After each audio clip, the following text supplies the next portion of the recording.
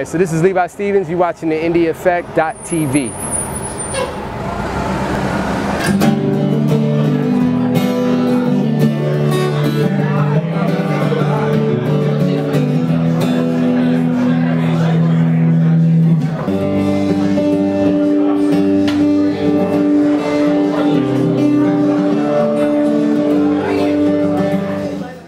putting out the second album, so the second album will come out in uh, top of next year. So that's going to be kind of cool. Looking forward to that.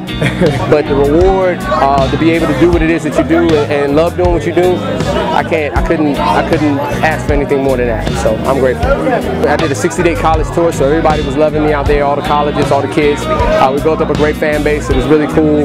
So uh, again, I'm just really grateful for that opportunity. Um, I, I just always wanted to be able to play and and and and get as many people you know to hear my music you know we're kind of like a singer-songwriter blues rock folk kind of combination so that's uh um, you know just kind of is I don't know that's that's our sound so.